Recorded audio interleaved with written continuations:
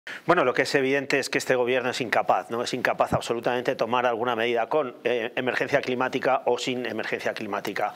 El problema de la emergencia climática es que, como muy bien se ha explicado aquí, eh, hay cambios que nosotros también establecemos directamente, los seres humanos, en nuestras, en nuestras actividades cotidianas, ¿no? Y luego hay una serie de cambios climáticos que evidentemente también eh, por el proceso natural que sufre la Tierra, pues también se producen. La conjunción de ambos cambios climáticos pues pueden provocar cualquier tipo de desastre. ¿no?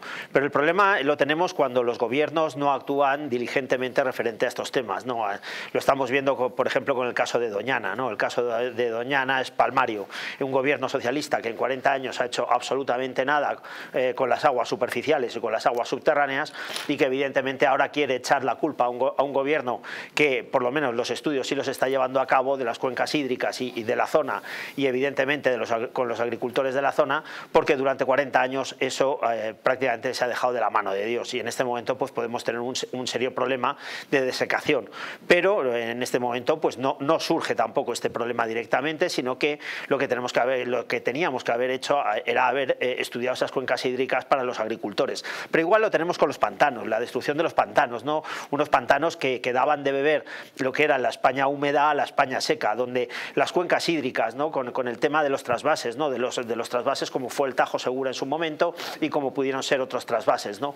de zonas de España donde son húmedas por antonomasia a zonas secas que todo el mundo las conocemos más al sur o al este de España, donde evidentemente existe una huerta. Lo que es evidente en estos casos es que siempre la propaganda de la izquierda es la que quiere desmaterializar toda esta serie de argumentos para eh, llevarlos a un terreno de la propaganda, de la mentira y absolutamente, como bien pasaba con Al Gore, eh, en muchos de los casos hay eh, muchos intereses económicos en medio, metido en medio.